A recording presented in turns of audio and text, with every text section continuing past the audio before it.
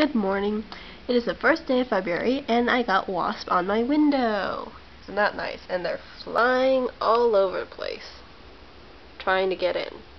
Don't ask me why, because I have no idea. I think they probably think my room's a big flower or something. Well, gotta go study. Bye.